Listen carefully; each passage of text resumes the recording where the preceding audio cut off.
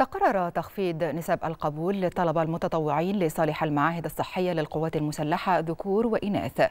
ذلك من الحاصلين على شهادة الثانوية العامة علم علوم أو الثانوية الأزهرية علمي لتكون 55% بدلا من 60% من المجموع الكلي مع تفضيل الحاصلين على أعلى الدرجات في اللغة الإنجليزية حتى الاكتفاء بالعدد المطلوب.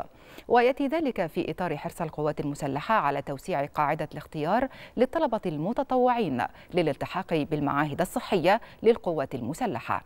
وفي ضوء النتائج والنسب المئوية للمجموع لطلبة الثانوية العامة هذا ويستمر سحب الملفات حتى الرابع عشر من سبتمبر المقبل.